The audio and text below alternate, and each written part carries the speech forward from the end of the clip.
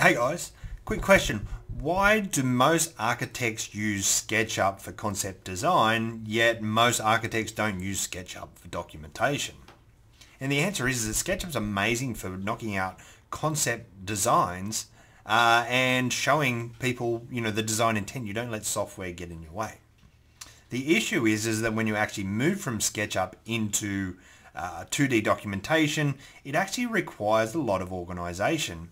Now I'm going to show you a good way to actually organize SketchUp geometry without being restricted by the parametrics associated with other BIM programs. And by the way, guys, SketchUp is used more than any other BIM program in the world. So let's have a look at how to automate that. Now, I can create walls, roofs, floors, or anything, and I'm just going to quickly create a couple of rectangles here, nothing too flash. And from this geometry, we could do our standard push-pull, or we could just use a plugin and actually go create floors, floor joists, roofs, slabs, or whatever. I'm going to go create slab. I can choose whether it's above the face or below the face and go submit.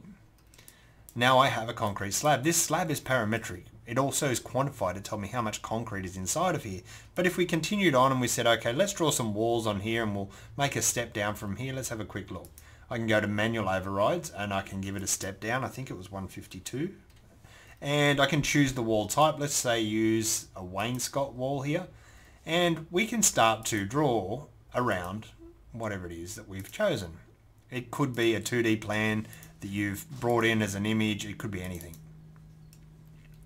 right? I can change the products that are used on the walls.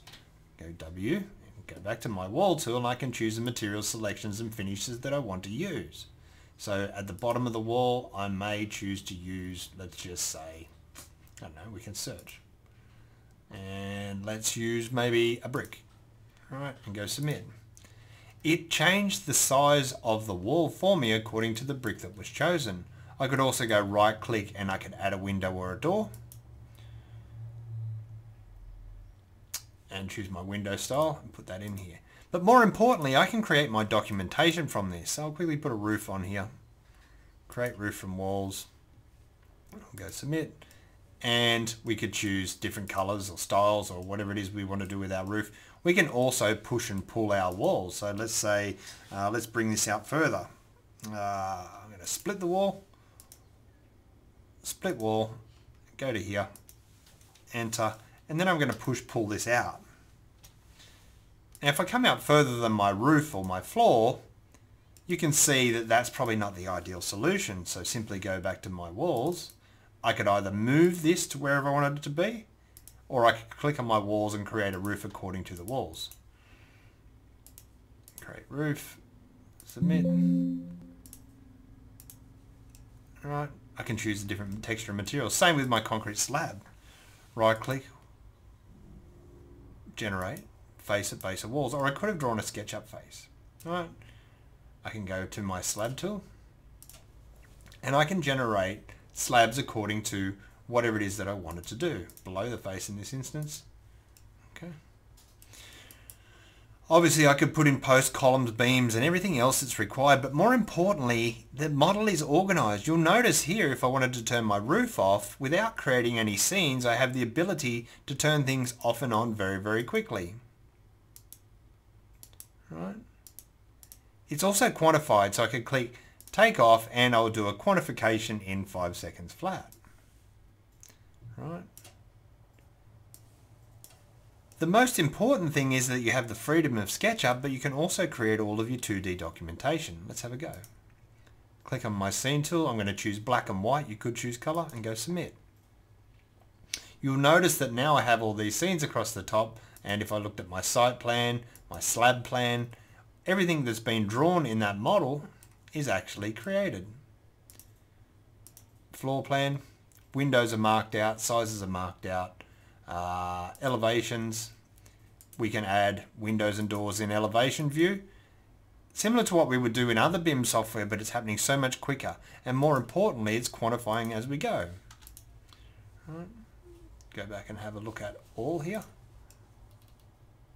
Right.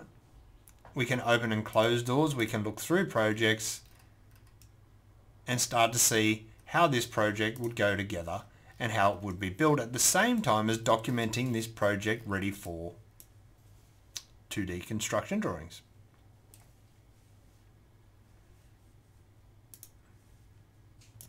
The key to what I'm talking about is organization. When you're organized inside of SketchUp, there's no reason to leave SketchUp and move on to another program. There are tools inside of Plus Architect that actually automate the creation of layout documentation, including, including viewports, scales, dimensions, and more. Let's have a quick look.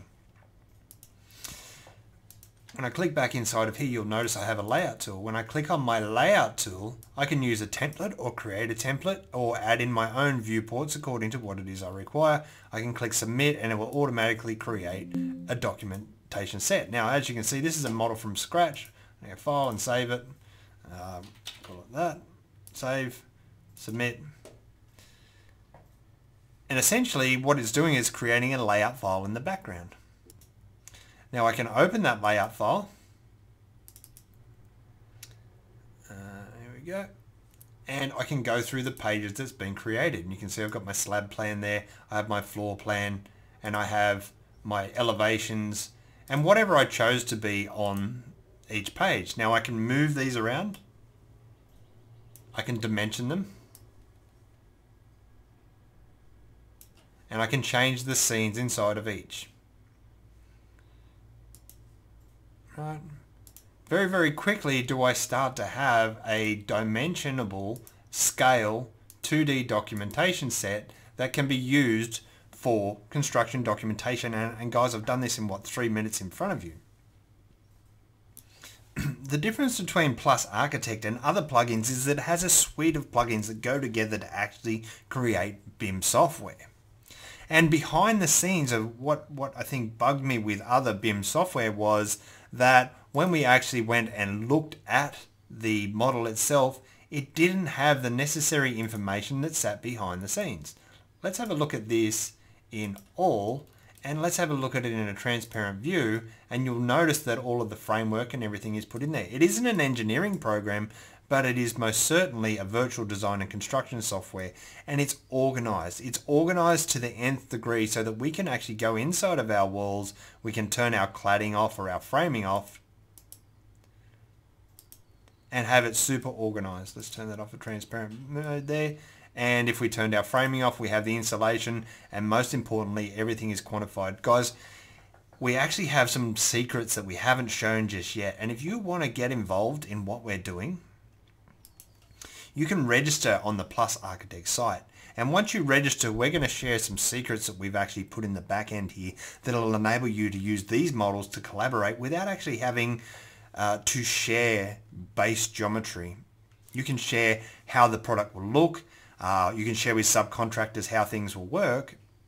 And it's just an amazing output that enables you to use SketchUp to create 2D construction documentation at the same time as actually collaborate with subcontractors, clients, uh, and anyone else that's involved in the project.